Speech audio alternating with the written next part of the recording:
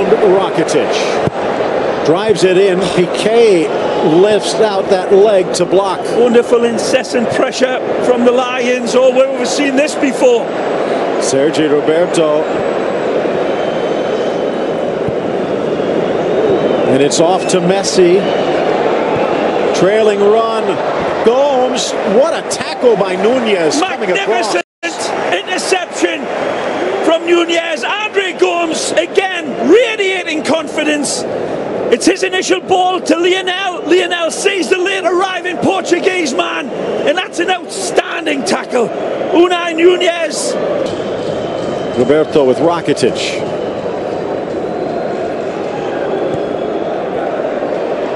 Magic. Chance inside. Oh! And another tackle by Nunez.